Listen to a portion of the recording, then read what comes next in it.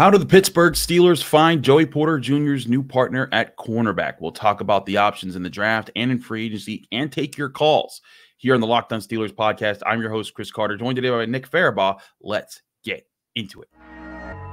You are Locked On Steelers, your daily Pittsburgh Steelers podcast, part of the Locked On Podcast Network. Your team every day.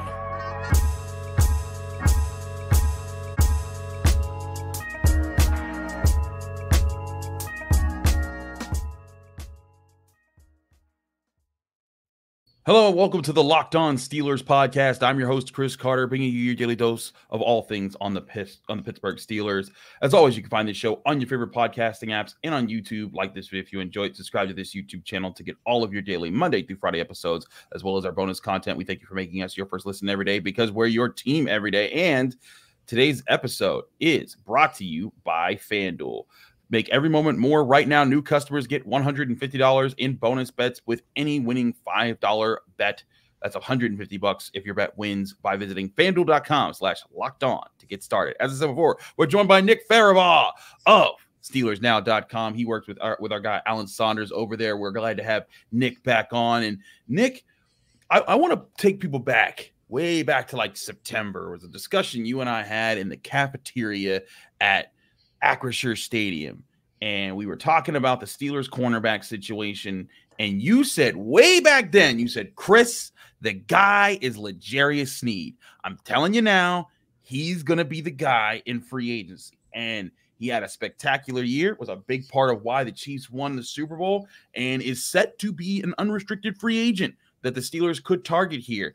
But I wanted to ask you with the Steelers salary cap situation, with everything else in mind, with the corners that are available to them into the draft, where do you see the biggest priority coming for the Steelers to address cornerback? I feel like a guy like Sneed makes so much sense because my thing is, I think we know what their quarterback plan is going to be at this point. It's going to be Kenny Pickett and a vet, uh, but not you know a vet that's going to threaten his starting job, or at least is going to only provide competition. So, what's the easiest way to get an equalizer level, right? Mm-hmm. How do you equalize against CJ Stroud, Justin Herbert, Joe Burrow? Um, if you face these alien quarterbacks in the playoffs, which you will because it's the AFC, I always thought it was a great defense, like an elite defense that legitimately puts terror in teams. You have TJ Watt, you have Minkah Fitzpatrick, you have Cam Hayward, you have Keanu Benton, you have all these guys that are really good players. Joey Porter Jr. is a rising star. So I think you need a stud secondary. That's what I think it's the last missing piece. That's why this defense was good, but not elite this year. They didn't have an athletic secondary. They got beat. They couldn't play as much man coverage as they wanted to. Ran a lot of half field coverages to kind of protect the other side away from Joey Porter Jr. Like you look at what happened when Joey Porter Jr. went into the lineup. He shut down the top receivers, but even the top receivers, when they would go away from Joey Porter Jr. for like 10 to 15 routes, would end up still getting like 90 yards. And none of it would be on Joey's watch. It would be on the other guy's watch, or they would hit him over the middle of the field on a tight end uh, seam route, whatever it might be. So I think a guy like Sneed is perfect. Why? Because he's not just an outside corner. He is a do it all guy. He can play in the slot. He can be your kind of physical press corner. So you can press up on teams. You can take the fight to teams that have great receiving cores, like the Bengals, for example. If Tee Higgins is coming back, which we think he is because he's going to get tagged probably, this is a great way to do it. You bring in another top corner and you can say mano a mano, we'll match you. Like Ja'Marr Chase and Tee Higgins are a great corner duo, but Joey Porter Jr. and L'Jarius Sneed are going to be one of the most physical press man groups. It feels like the league is moving more and more towards press man stuff. Um, and I just think the Steelers have been kind of forethoughting on that. They are ahead of that curve. I think they want those lengthy, big guys. He works perfectly there. He's a ball hawk. He's physical. He can blitz. So he's a versatile chess piece that can do everything Patrick Peterson did last year, but he's younger and he's elite. That's kind of where I look at it. And so I think he's the guy I would look at. There's cheaper guys if you don't want to spend that much money. Uh, Sean Murphy Bunting, for example, could mm. make sense. Um, but I think Sneed turns this corner duo into one of the best in the NFL. That's and that's the thing. I think that a lot of good defenses and great defenses are being built with pillar cornerbacks that you know, hey, you put receiver one on him, receiver two on him. Those guys are going to have a hard time getting getting open. What would you say about other free agents out there? Another guy that's out there is Jaylon Johnson, who the Steelers were rumored to maybe trying to get around the trade deadline, or other guys even like Kendall Fuller from the Commanders, who could be out there. Um, all guys that are in their their mid to late twenties who have good NFL experience, but also could cost this will definitely cost the Steelers probably more than like twelve million dollars a year in salary cap space. Yeah, it's just corner's the biggest hole on the team on the defensive side of the football right now. Mm-hmm. And so if you want to build a dominant defense, you got to fix corner two or corner one, whatever. If you want to put Joey Porter Jr. into corner two role, because Sneed and him are 1A, 1B, like him and Johnson would be 1A, 1B. Now, Johnson's a little different. He's more of an off man guy, played a lot of off man in Chicago. Can he do press? He, he's done it in limited snaps and he's looked good, but again, there's more of a question of translation there. I think a guy, I, I look at a guy like Sean Murphy Bunting. I say that because he's a big guy. He can get up on you. Ronald Darby had a good year with the Ravens this year. If you want to spend a little cheaper there, I really like the fit for Kendall Fuller. Again, we're talking about another guy that fits in the slot, can do a lot of different things. So he kind of fills two needs. Now you would still need that sub package corner, but I also think what that would allow you to do if you get a Sneed or a Fuller is if you keep Patrick Peterson, it allows you to do a lot of different things with Patrick Peterson and move him around and kind of be this veteran savvy. He can pay, play the penny, he can play that dime back role. Like that could be very interesting. I think if you add someone, maybe you know you get a, a cheaper deal for Patrick Peterson and, and, keep him around. I think it could be real interesting to, to kind of see that. But I think there's a lot of good kind of guys there. Sneed, Johnson, Fuller. I like Murphy Bunting as like the bargain guy coming off mm. a pretty mm. good year with the Titans. Ball production, um, can be physical, can play man to man, does a lot of different things for you. So I, I think that there's different routes they can go. If say they don't want to make the splash a corner, maybe they want to go out and sign.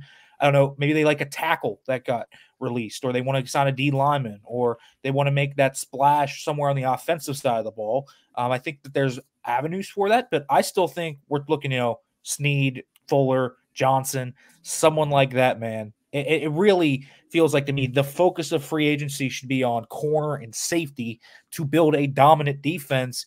And I think if you have a dominant defense, you can really even the playing field and you don't have to put as much pressure on the offense to go out and score 30 points in the postseason. That's that's one of the big things I think that is really holding them back.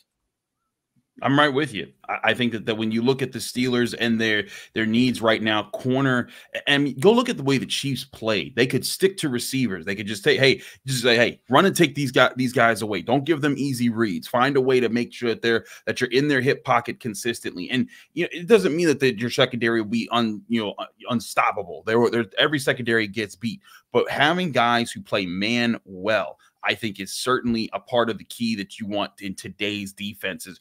Real quick here, because we spent a lot of time talking about free agents. This cornerback class, is this a year with all the other Steelers needs that you take a guy in the first round? Because there's a lot of talent, and some people even say you could wait to the second or third round and still find your guy.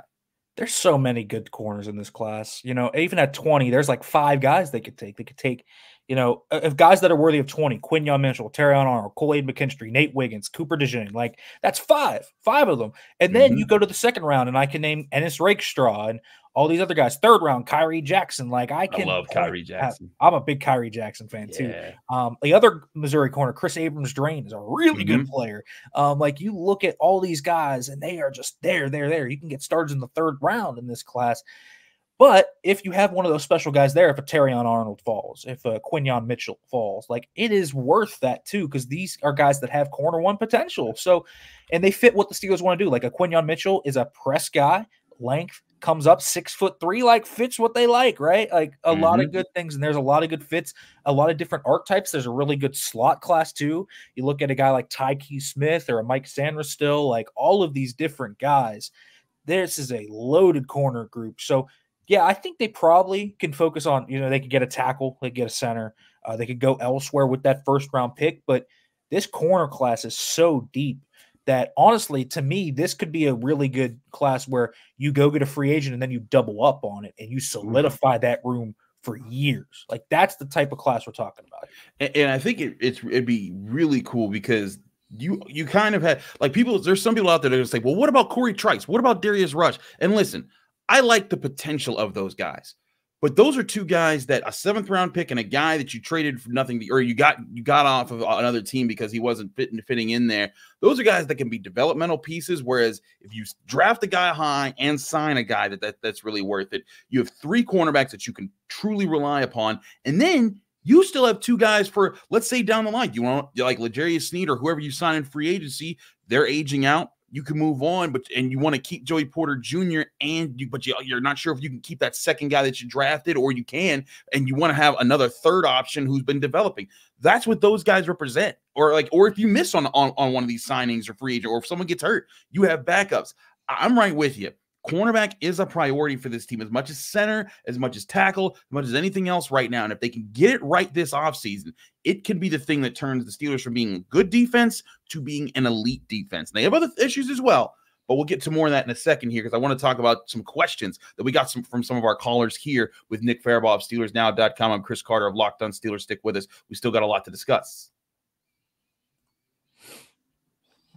But first, want to remind you that this show is brought to you by FanDuel Sportsbook, the number one sportsbook in America. Right now, new customers can get $150 back in bonus bets with any winning $5 bet right now. And if you're like me, football season being done doesn't mean that I'm done with sports. FanDuel gives you so many ways to play NBA, NHL, college basketball, and so much more action. And right now, it's great because in this town, there's every day there's action. There's hockey, there's basketball, there's other sports out, out there as well. And there's so many ways for you to find W's on FanDuel Sportsbook right now. You can make quick bets, make, make makes live same game parlays. You can get exclusive prop bets and so much more. And remember, new customers, if you join FanDuel today, you get $150 back in bonus bets if your first bet of at least $5 or more wins. Just visit fanduel.com slash locked on to sign up today. That's fanduel.com slash locked on. Make every moment more with FanDuel, an official sportsbook partner of the NBA.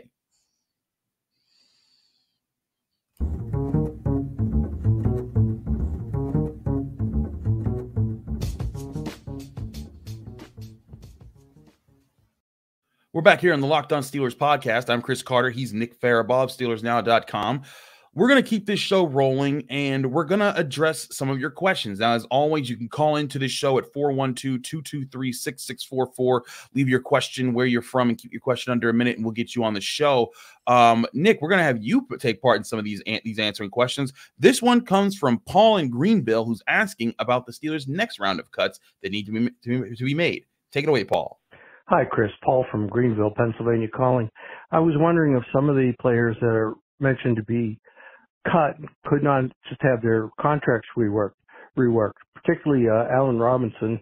I think he he had a 70% catch rate per target, and uh, I don't think he was really used properly in either by the uh, Canada offense or uh, maybe just Kenny wasn't able to get the his third read. He's a really good possession receiver, in my opinion. I saw him play in Chicago for years.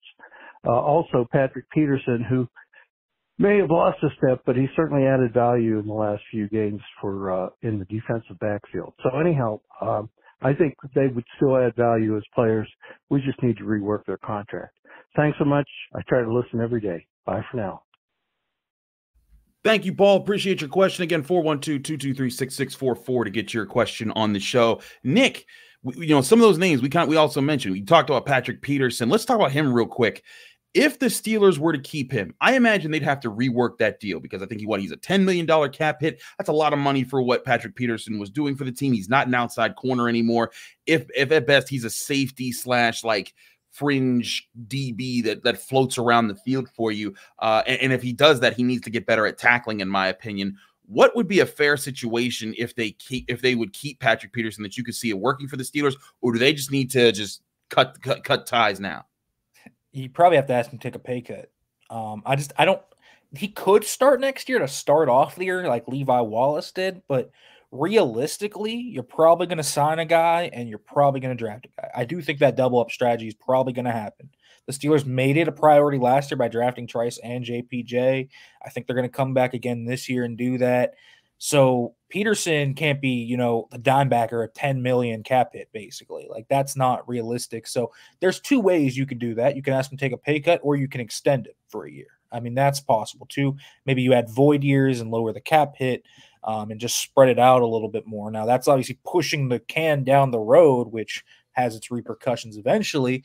Um, but I do think Patrick Peterson has useful traits, as I talked about. I feel like if you add a guy like Sneed, for example, uh, if he can take a pay cut and he's willing to play at a cheaper price, like I think there's a lot of intriguing things you can do in sub package football with a guy like that, um, with a ball hawk, a mentorship, you know, for the rookie that would come in probably with that, um, all of that. I feel like he could fit in there, but the only realistic scenario really is probably him taking a pay cut.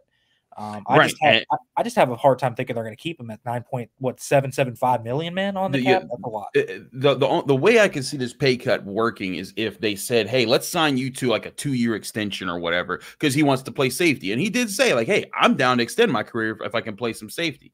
Um, and if you said, "Hey, you're going to get your nine point seven million, just not all next year," you know, like you're gonna they- they- we're gonna stretch this out. We're gonna say, "Hey, maybe you're." A six million dollar cap hit this next season, or a five million dollar cap hit this next season, and we find a way, or they could throw on some void years. But I- do agree. If Patrick Peterson sticks around, it has to be on a pay cut. And if he's not willing to take that, I'm I'm right with you. They need to move on. But some of these other guys, Mason Cole, Allen Robinson. Allen Robinson's a guy. He's similar boat. Like I'm okay if Allen Robinson sticks around with a massive pay cut. Like he there, he cannot be anywhere near ten million dollars of a cap hit.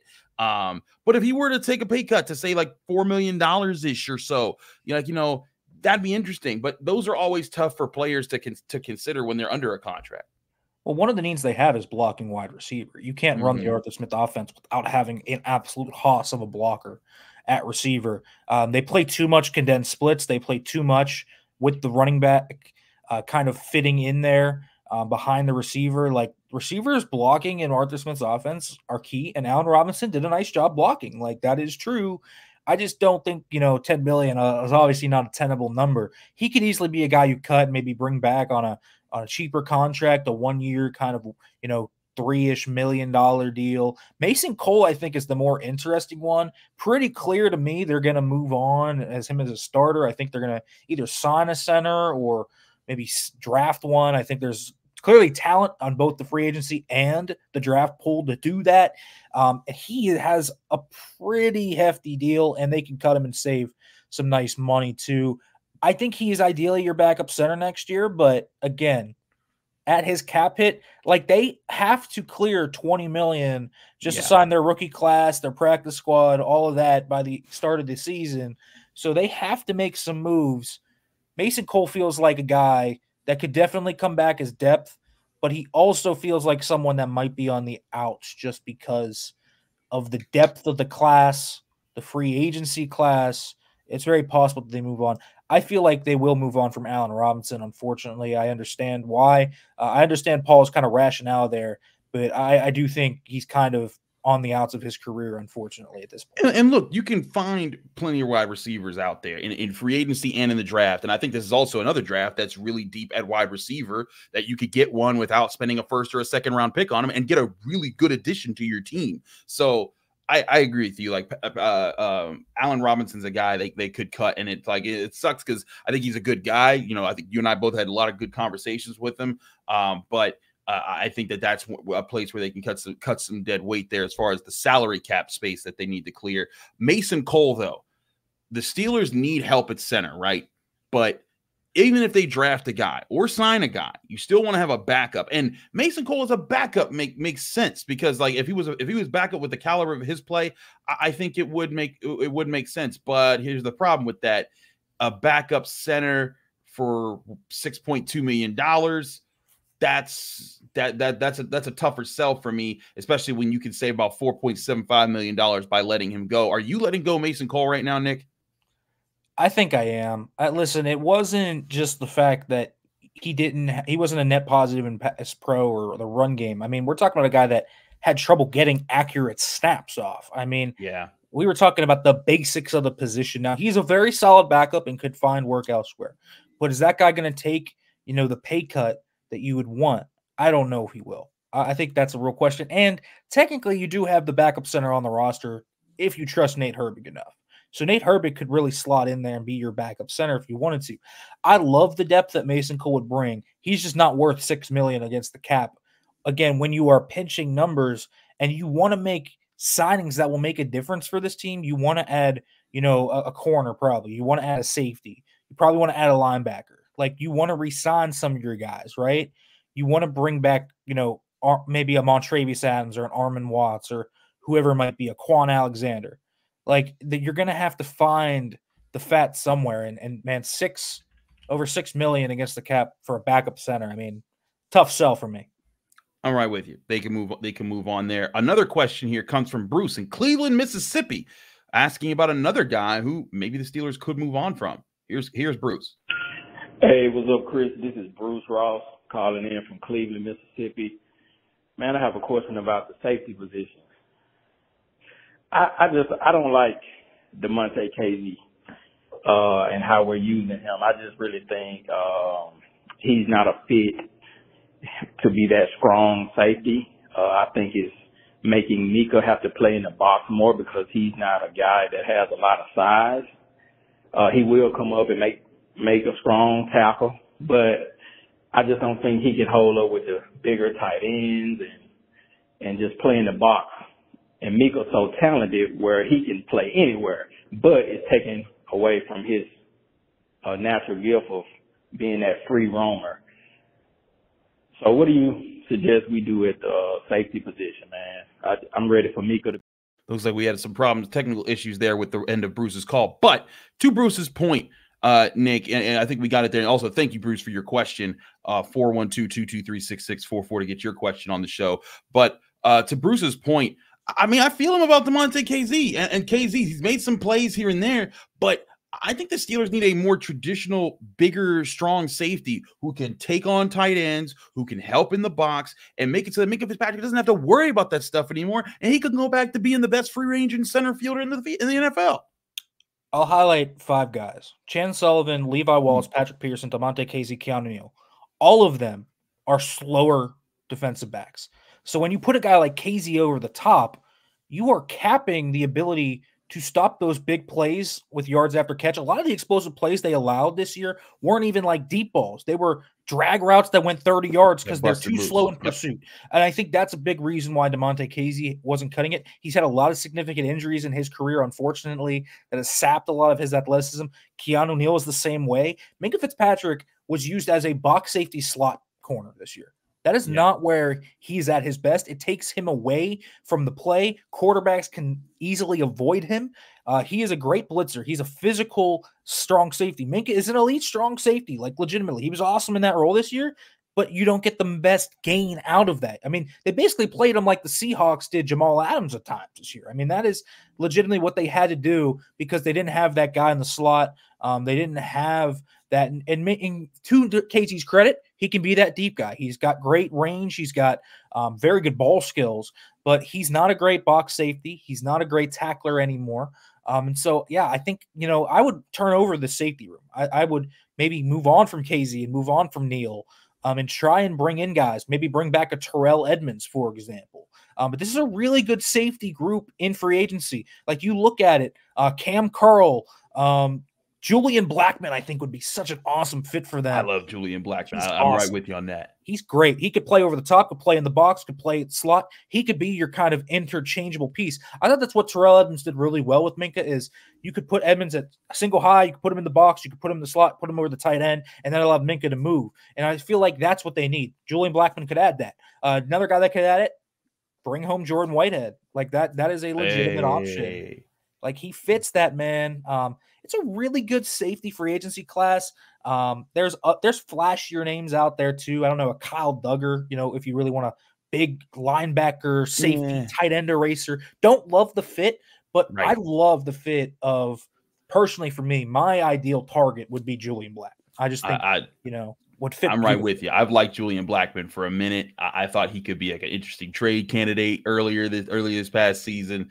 If they could land Julian Blackmon, him with Minkah, I think that would be a heck of a pair to put together. But we got to get to mock draft Monday. We have a winner to, to announce and some picks to go over here. We'll do that with Nick here on the Locked On Steelers podcast. I'm Chris Carter. Stick with us. We'll be right back. But first, I want to remind you this show is also brought to you by Game Time. Game Time is the app you need to download right to your phone right now to make buying tickets to your favorite events not a stressful endeavor. Because Game Time is the fast and easy way to buy tickets to all your sports, music, comedy, and theater events near you. They give you killer deals on even on last minute tickets with a best price guarantee that can't be beat so you can stop stressing over your tickets and start getting hyped for the fun that you're about to have. The Game Time app allows you to book tickets even up to the last minute, even up to an hour after your event has begun. That's why you got to download the Game Time app right to your phone. It be, gives you the best of both worlds. You can see all the accuracy and uh, of what your tickets will actually give you, like when you go to the ticket booth, but you'll get the prices of what you're getting from scalpers on the street. That's what you want to get is game time get you the best prices with the best opportunities. And these are flash deals on, on tickets for basketball games, hockey games, baseball games when that comes back around, concerts, comedy events, theater events, anything near you. Game time most likely has tickets that you could take advantage of, and they're always getting you the best price. And they promise you because if you find tickets somewhere else that gets you uh, tickets for a lesser lesser price in the same section of row for less somewhere else, Game Time credits you 110% of that difference. Snag the tickets without the stress with Game Time. Download the Game Time app, create an account, and use code LOCKED ON for $20 off your first purchase, or go to the website GameTime.co. Terms and conditions apply. Create an account, redeem code LOCKED ON for $20 off. Download Game Time today. Last minute tickets, lowest price guaranteed.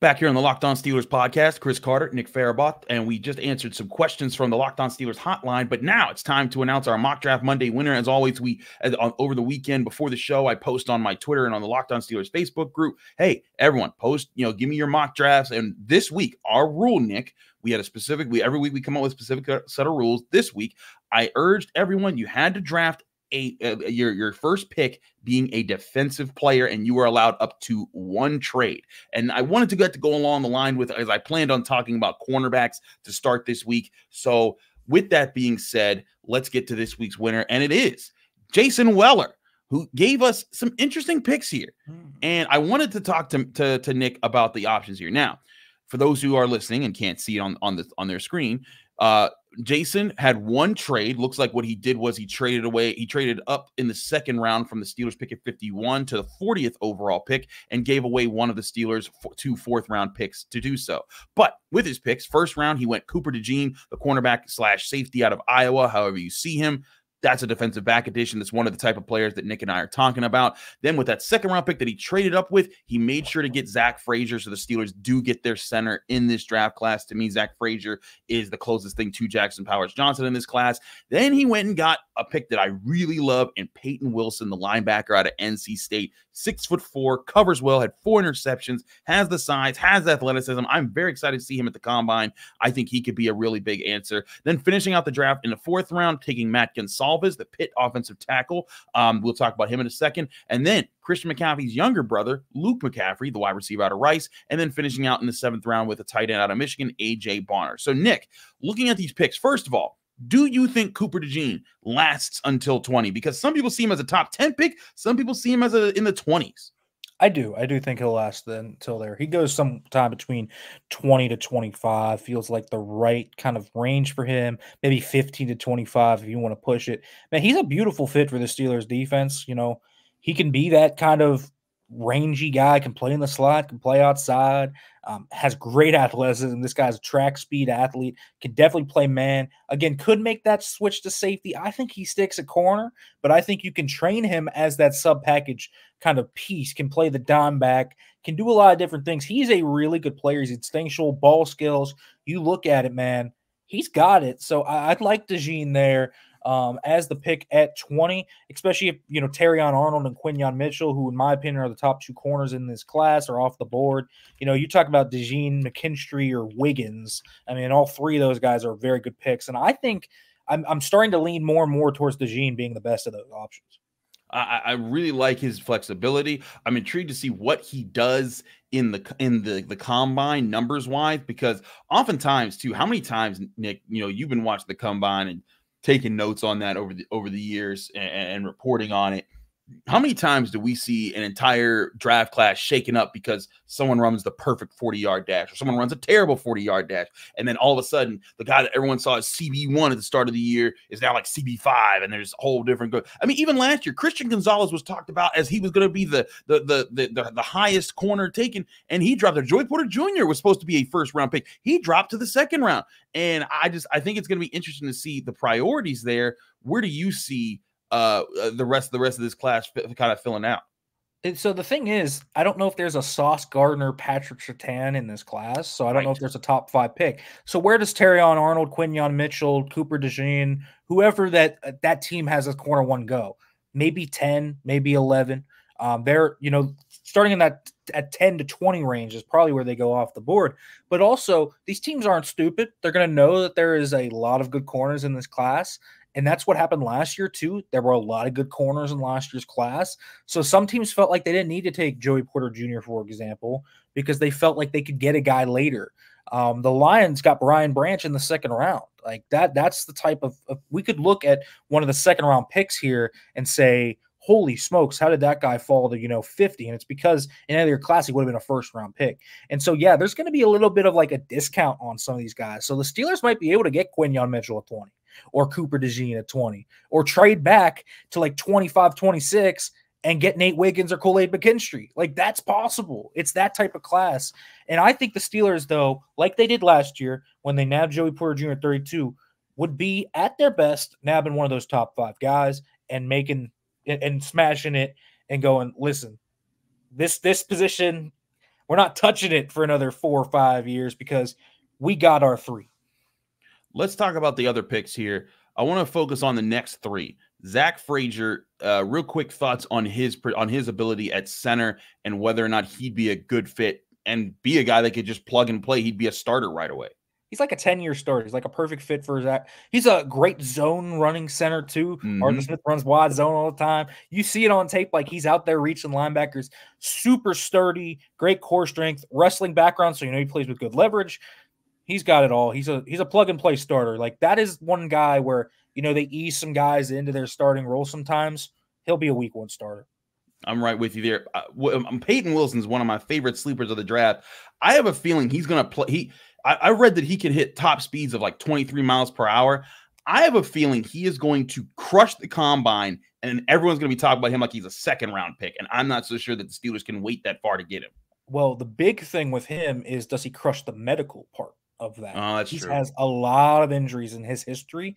Now it's a bad linebacker class, man. This linebacker class is brutal. There mm-hmm. is some guys in there outside of Peyton Wilson, Junior Colson, Edgerrin Cooper, Trevin Wallace. Like there's a lot of guys that you can point to in that Jeremiah Trotter. Like there are guys that you can point to, but Wilson has linebacker one tape. Like that to me, he has the best tape in the class. He flies over the field. He's got elite coverage range. It's just can the guy stay healthy?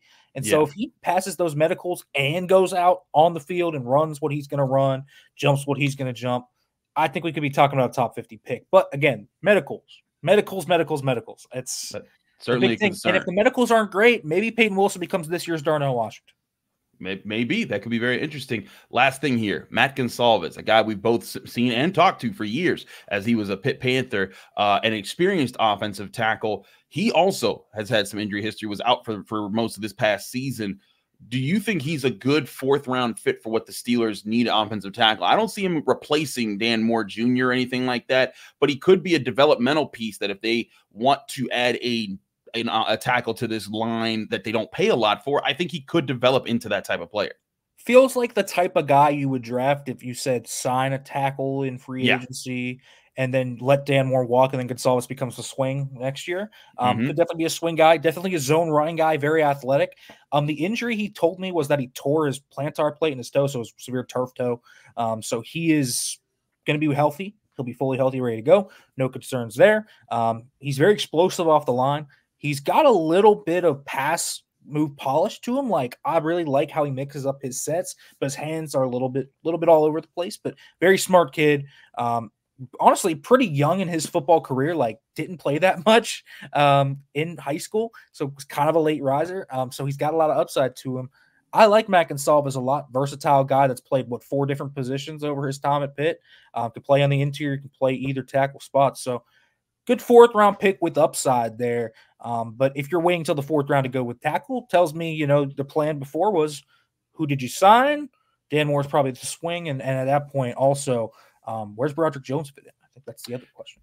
Another big question here. We'll get into more offensive line questions. Uh, we've been a- answering a lot of offensive line questions and talk a lot of center and tackle. That's why I wanted to kind of switch it up and talk more defense secondary talk today. And trust me, we'll get into more of that as we go along. The combine. It's about a, is it, what is it? A week away now? Uh, about a week and a half. We'll be Week there next Yeah, because it's yeah, that's right. We get there on the neck on that Monday. So we I will I will be in, in Indianapolis along with Nick and a lot of other, a lot of our other friends that, that hop on the Locked On Steelers podcast. Um, because and we'll have a lot to break down for you there. But Nick, thank you so much for joining us here on the Locked On Steelers podcast. Let people they can find you, follow you, and get more of your work. Yeah, thanks for having me on as always, Chris. You can follow me on X at FairbyFB right there. Make sure to read SteelersNow.com. We got draft profiles coming out. We got all the draft covers. We're really leaning to that. I also have some free agent targets that maybe uh, I think are good. I'm writing that stuff up. So we got a ton of analysis, kind of hitting the offseason hard. And then when the combine comes, you know, we're really gonna smack that out of the park. Top Steelers targets, what whatever Omar says, all of that. I, I, absolutely check out Nick and Allen. They do a great job at SteelersNow.com. We're gonna probably have Allen on later this week too. I'm Chris Carter. Follow me on Twitter and Instagram at Carter Critiques. Read my work at the Pittsburgh Post Gazette, post-gazette.com. Find me here in the Locked On Steelers podcast every every Monday through Friday, talking your Pittsburgh Steelers right here on the Locked On Steelers podcast. We'll see you tomorrow on the Tuesday episode of the Locked On Steelers podcast.